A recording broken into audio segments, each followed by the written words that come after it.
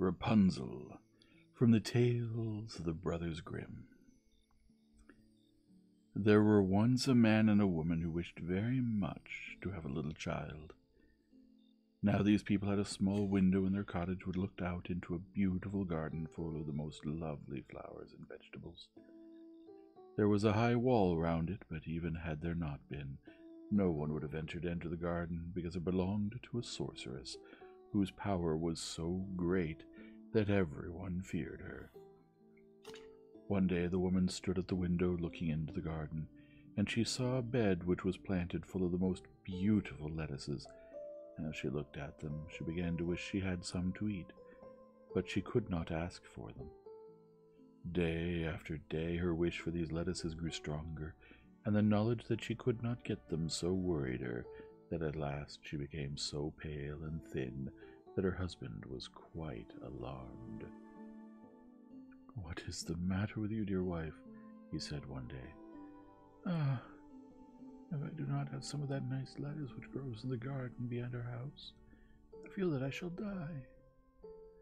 The husband, who loved his wife dearly, said to himself, Rather than my wife should die, I will get some of this lettuce for her, cost what it may. So in the evening twilight he climbed over the wall into the garden of the witch, hastily gathered a handful of the lettuces, and brought them to his wife. She made it into a salad and ate it with great eagerness. It pleased her so much and tasted so good that after two or three days had passed, she gave her husband no rest till he promised to get her some more. So again in the evening twilight he climbed the wall, but as he slid down into the garden on the other side he was terribly alarmed at seeing the witch standing near him. How came you here? she said with a fierce look. You have climbed over the wall into my garden like a thief and stolen my lettuces. You shall pay dearly for this. Ah, replied the poor man, let me entreat for mercy. I have only taken it in a case of extreme need. My wife has seen your lettuces from her window, and she wished for them so much that she said she should die if she could not have some of them to eat. Then the witch's anger cooled a little, and she replied, If what you tell me is true, then I will give you full permission to take as many lettuces as you like, on one condition. You must give up to me the child which your wife may bring into the world. I will be very kind to it, and be as careful of it as a mother would be.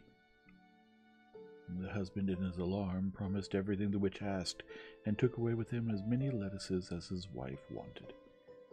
Not many weeks after this, the wife became the mother of a beautiful little girl, and in a short time the witch appeared and claimed her, according to the husband's promise. Thus they were obliged to give up the child, which she took away with her directly, and gave her the name of Rapunzel, after the name of the vegetable which grew in the garden. Rapunzel was the most beautiful child under the sun, and as soon as she reached the age of twelve years, the witch locked her up in a tower that stood in a forest.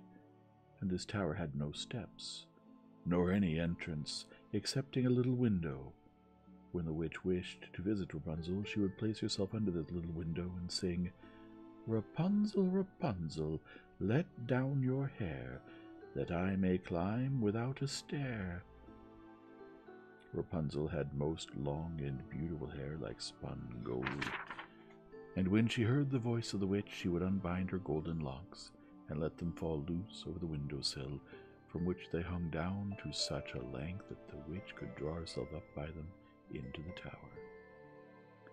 Two years passed in this manner, when it happened one day that the king's son rode through the forest. While passing near the tower, he heard such a lovely song and could not help stopping to listen. It was Rapunzel who tried to lighten her solitude by the sound of her own sweet voice. The king's son was very eager to obtain a glimpse of the singer, but he sought in vain for a door to the tower. There was not one to be found. So he rode home, but the song had made such an impression on his heart that he went daily into the forest to listen. Once, while he stood behind a tree, he saw the witch approach the tower, and heard her say, Rapunzel, Rapunzel, let down your hair, that I may climb instead of a stair. Presently he saw a quantity of long golden hair hanging down low over the window sill, and the witch climbing up by it. Oh, said the young prince, if that is the ladder on which persons can mount and enter, I will take the first opportunity of trying my luck that way. So on the following day, as it began to grow dark, he placed himself under the window and cried, Rapunzel, Rapunzel, let down your hair, that I may climb instead of a stair. Immediately the hair fell over the window, and the young prince quickly climbed up and entered the room where the young maiden lived. Rapunzel was dreadfully frightened at seeing a strange man come into the room through the window, but the king's son looked at her with such friendly eyes and began to converse with her so kindly that she soon lost all fear. He told her that he had heard her singing, and that her song had excited such deep emotion in his heart that he could not rest till he had seen her. On hearing this, Rapunzel ceased to fear him, and they talked together for some time, till at length the prince asked her if she would take him for a husband. For a time she hesitated, although she saw that he was young and handsome, and he had told her he was a prince. At last she said to herself, He will certainly love me better than old Mother Grethel does. So she placed her hand in his and said, I would willingly go with you and be your wife, but I do not know in the least how to get away from this place. Unless, she said after a pause, you will bring me every day some strong silken cord. Then I will weave a ladder of it, and when it is finished I will descend upon it, and you shall take me away on your horse. The prince readily agreed to this, and promised to come and see her every evening till the ladder was finished, for the old witch always came in the daytime. The witch had never seen the prince. She knew nothing of his visits, till one day Rapunzel said innocently, I shall not have such a heavy weight as you to draw up much longer, Mother Grethel, for the king's son is coming very soon to fetch me away. You wicked child, cried the witch, what do I hear you say? I thought I had hidden you from all the world, and now you have betrayed me. In her wrath, she caught hold of Rapunzel's beautiful hair and struck her several times with her left hand. Then she seized a pair of scissors and cut Rapunzel's hair, while the beautiful locks, glistening like gold, fell on the ground. And she was so hard hearted after this that she dragged poor Rapunzel out into the forest to a wild and desert place and left her there in sorrow and woe.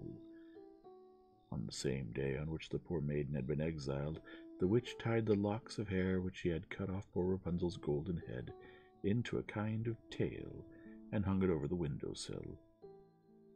Rapunzel, Rapunzel, let down your hair, that I may climb without a stair. Then the witch let the hair down, and the king's son climbed up. But at the open window he found not his dear Rapunzel, but a wicked witch, who looked at him with cruel and malicious eyes. Ah, she cried with a sneer, you are come to fetch your loving bride, I suppose, for the beautiful bird has flown from the nest and will never sing any more. The cat has fetched it away, and she intends to scratch your eyes out also. To thee is Rapunzel lost, thou wilt never behold her again. The prince felt almost out of his mind with grief as he heard this, and in his despair he sprang out of the tower and fell among the thorns and brambles beneath. He certainly escaped with his life, but the thorns struck into his eyes and blinded them.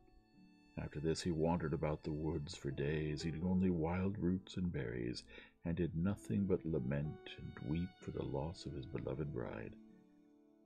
So he wandered for a whole year in misery, till at last he came upon the desert place where Rapunzel had been banished, and lived in her sorrow. As he drew near, he heard a voice which he seemed to recognize, and advancing towards the sound came within sight of Rapunzel, who recognized him at once with tears. Two of her tears fell in his eyes, and so healed and cleared them of the injury done him by the thorns that he could soon see as well as ever. Then he traveled with her to his kingdom, and she became his wife, and the remainder of their days were spent in happiness and content. The end.